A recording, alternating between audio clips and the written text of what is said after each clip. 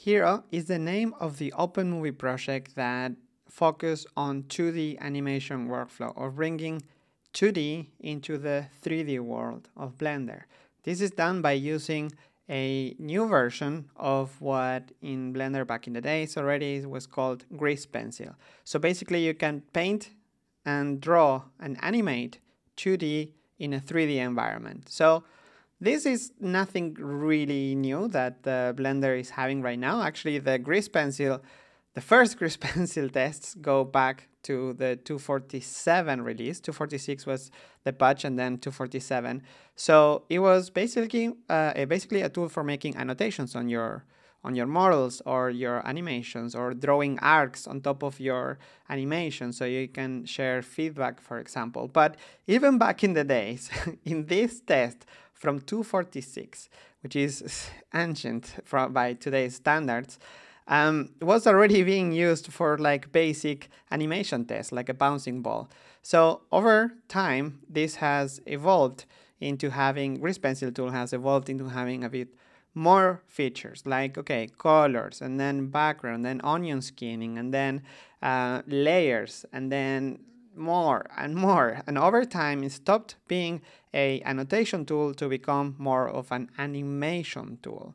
So as of today, 31st of July of uh, 2018 is a very special moment because this annotation tool becomes a full 2D animation workflow that is part of Blender 2.8, a 3D, in 2D into 3D, and this is something that it's really gonna, I think it's gonna change the industry because there is nothing like this in the market. There is really good 2D animation tools that have a bit of 3D, and there is 3D tools that had a bit of 2D, but none both in the same uh, same world. So, behold, 2D animation workflow, also known as Grease Pencil. So, what's different? If you're already familiar with the Grease Pencil tools in the previous versions of Blender, you will um, see that it's all very a bit familiar.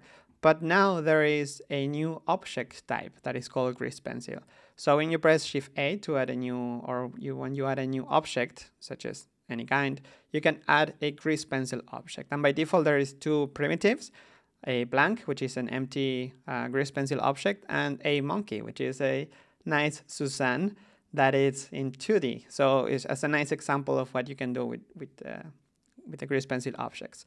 And also, if you rotate the view, you'll see that you're actually drawing 2D in a 3D environment. These 2D objects have modes, such, just like any other kinds of um, objects in your mesh. So like a mesh has sculpt and vertex paint, well, the um, Grease Pencil object has draw, which, where you can actually draw, edit, where you can edit the strokes, weight paint, and sculpt. So you can even sculpt your strokes, which is just crazy. So draw is where you're gonna make new strokes, where you are going to actually choose a, one of the tools with these nice icons that have it here, a pen, ink, even you can have the different kinds of strokes. And that's where you create new ones. Then in edit mode is where you are going to actually access and select one of those, um, one of the strokes. So if I select everything, if I, I can move it with G, I can even use proportional editing to move my, uh, or even tools like to sphere, mirror, and bend. This is still a work in progress. It's an alpha stage, just like the rest of Blender 2.8. But you can see already how powerful it is because you can just go and edit your own strokes like, like it was jelly. the same with um, with the sculpt tools. For example, if you press um, sculpt mode, you can also have like smoothing or grab or pushing. So you can, let's see the grab, which is similar to grabbing it in the other mode or smoothing for smoothing or changing the thickness. So if you want to make some parts more thick, you can just do it with your brush. So, and also works the same as the rest of Blender. You press control and then you do the opposite. So that way you can uh, really have control over your strokes. The same with weight paint that you can use it with modifiers and everything. That it's a real object. That's a quite an upgrade. Before Grease Pencil was attached to, a, to the scene, to an object, to the view, but now this is an actual 3D object. You can shift D to duplicate. You can add modifiers. They also have modifiers, their own modifier types, which are instances for like um, array. So you can have your own array of uh, monkeys in this case. You also have a build, which is going to, like it's the same as the mesh actually, it's going to draw your mesh as you draw it because every stroke has like an index, like a time, like a life. so you're drawing this. And I'm not going to go through all of the modifiers because that will come in a training series that will come to the Blender channel and the Blender cloud. There will be only about Grease Pencil and 2D animation, but I just want you to, to have an idea of the power that this um, that this has. So you can have modifiers for color, you can have modifiers for changing your geometry, for mirror. So that way, uh, if you select, if you, um, you can draw half of your um, model and then you um, have a mirror on the other side. So it works the same as if it was a mesh and it works in, in 3D, of course, too. So you will be you will feel very familiar with this uh, concept if you're already familiar with the rest of Blender. But there is a new concept that is only introduced for the grease pencil objects, which is the effects for now. Only grease pencil for now, but it actually is something that is pretty cool. It's effects that you can add. It's like 2D effects that you add on top of your um, of your objects. So to illustrate this, I have a file from Daniel Martinez Lara, which is this one. And you can see here, it's a pretty nice animation. Actually, you can play it back. It's pretty neat.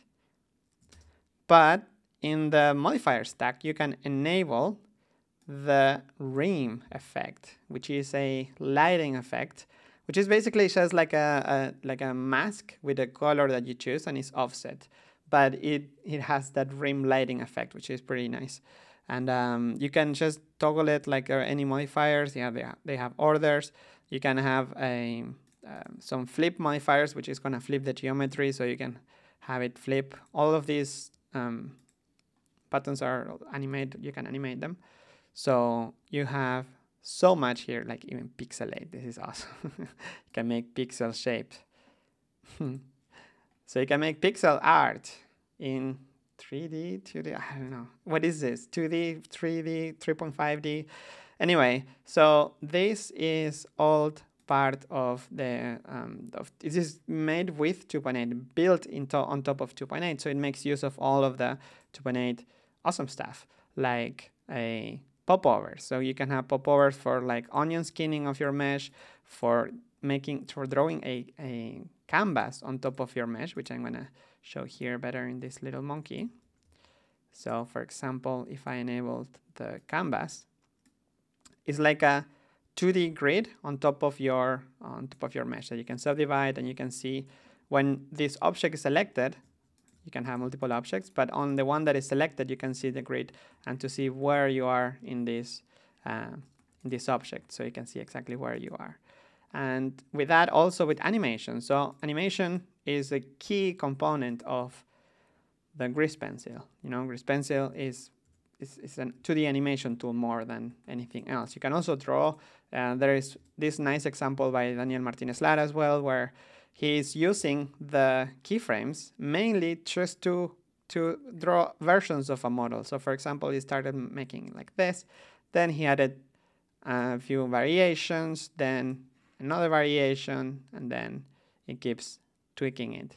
So basically, is like a process by adding keyframes basically. It's just add keyframes.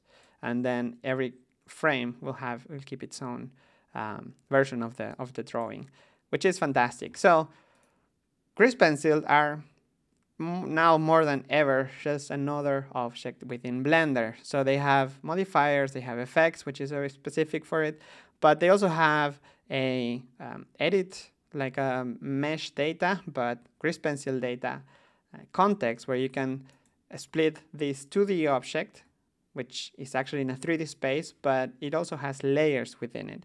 So it has colors. You can enable, disable the colors. In this case, you have lines. This is the example that I'm using for the um, for the monkey. So for this video, I'm only using the monkey, so you can also replicate it at home. But you will see that it has layers just like a like a 2D animation software. The goal of Grease Pencil is that it feels very familiar for 2D animators that come from other softwares as well, but they have this little hint of Blender way of doing things. So if you make a new layer, you can um, start drawing immediately and then pass, which means bis in Spanish. You can have its own layer. This own layer is going to have a tint color if you want one, and it will um, tint, tint the strokes. Then you can have onion skinning. So if you go to another frame and draw, uh, instead of the pass, you draw another one, then you have these two keyframes. And then the ones in between and after are just basically onion skinning, which you enable it and you should be able to see it as an overlay. So enable the overlay and you can see how was it in the previous frame or how is it in the one after. So this is more or less how you um, how you animate. But okay, I, I, let let's make the the typical edit, delete the frames, one little ball, go a few frames more, and then and more, and then more. Okay, the crappiest animation ever, but you get the idea. And with this, you can see the before and after of the onion skinning. I should show it actually in a very better file, but you get you get the idea. You can change the custom colors. I'm not gonna go through all of the settings because it's gonna be a spoiler alert for for the actual training that is coming. But yes, Grease Pencil is here and it's better than ever. It has nice little icons. It has, you will find it all over the place. You can have even, so for example, let's open one of the demo files that I got from uh, Daniel Martinez Lara. It's very nice from Alike. Um, it's, uh, you can find it, uh, Grease Pencil all over the place. So for example, in the, not in the render, but maybe in the scene settings, you can simplify and as you can simplify meshes, you can also simplify grease pencil stuff. So if it's a bit too heavy for your computer, you can disable, for example, lines of fields of um, of your of your grease pencil object, so that way you see it a bit better or faster on your hardware. Because that is one thing that it needs to mention is that this is um, all of this works pretty well. It's basically Eevee. So you're going to need a slightly better um, uh, graphics card, but the same as Eevee, basically. Just just that warning because even though it looks 2D, it still has a lot of processing for the filtering and for everything. So um, yes, if Eevee goes well for you, then this will go perfect. But if it went really well in 2.7, then it, you might need a, an upgrade for this. But that, I mean, yeah, all this filtering, all this anime, all the, yeah, it just takes a bit of um, compositing power. But uh, it's the same as Blender 2.8. It's in alpha state, so it's gonna keep being uh, updated. The, actually, this was added a few hours ago. It was implemented a few hours ago, merged a few hours ago, but it already has fixes all over the place. All the developers are contributing. Even I was changing some stuff in the interface, fixing tooltips, fixing here things here and there. If you have any feedback uh, uh, about it, uh, you can also provide it in the developers forum. And yes, this is huge. This is years of of, of development of, of actually being of not only development but also like uh, research and work. And this as i said this was implemented by Aligorith by joshua Leung many years ago the very first version of of um, wow july 19 2000 wow 2008 so it's actually 10 years ago that it was added. So 10 years later well actually seven years or so because three years three four years ago um, the project was picked up as uh, the, the artist Daniel Martinez Lara saw the potential in this tool, started making animation tests about it, and then over time he started to find like, okay, we could improve this thing and this thing, and then it kept evolving. The developers got excited and started working on it. Then Antonio Vazquez, the, the, the currently the developer that was next to uh, Daniel Martinez Lara and Matias Mendiola and other um, storyboard artist is they were working together like every day and fixing things. And i think if you follow the, the development videos you are probably familiar with it. But it's just an enormous amount of work done just out of passion for making this and giving the tools to the artists. So yes expect a dedicated workspace in blender 2.8 for doing 2d animation um, only and remember, this is 2D, this is 3D as well, so you can just mix both. It's just this, the best of both worlds together. This works with Eevee, so you want to have Eevee or you want to have like, I don't know, one of the crazy new matcaps. Yes, you can, of course. It's 3D in 2D, and it's just, um, okay, I just pressed the close button. Yes, it's in alpha state, it's being worked on. The um, other thing that I wanted to mention before closing is that the Hero Open Movie project that I mentioned here, this was done with a development version of Grease Pencil. So the files that you can find on the cloud uh, for Hero are not currently, they're not going to open properly with this new version of Grease Pencil because it was done during the development. So hold on there and there will be um, files and blend, blend samples that are going to be made specifically for working with the new uh, Grease Pencil. You will find them on Blender Cloud. Some of them will be free access for everyone, and some of them were ex exclusive for Blender Cloud subscribers because this Open Movie was made thanks to Blender Cloud subscribers. So yes, exciting, super exciting. This is a I think it's really gonna be a change in the in the industry. We we showed this at the Annecy during um, uh, the Annecy Animation Festival just a few months ago, and people were pff, mind blown because we were showing uh, hero stuff, like showing 2D animation with the stuff from, for example, um, we were showing a demo. It's just a quick thing, but it's just amazing. We, we, we had this demo and then a 2D doodle next to it because this is the same render engine, like the same. You can have a 2D animation here on top of this 3D character, PBR meets 2D meets NPR plus the Google Summer of Code things that are coming for LANPR. It's just, it's just crazy. Exciting times ahead. I will see you again after the hype.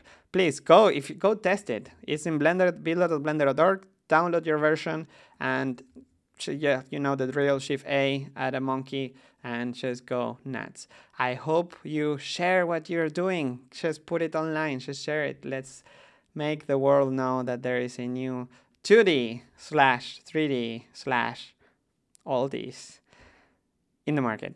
I will see you again in the next video. Bye bye.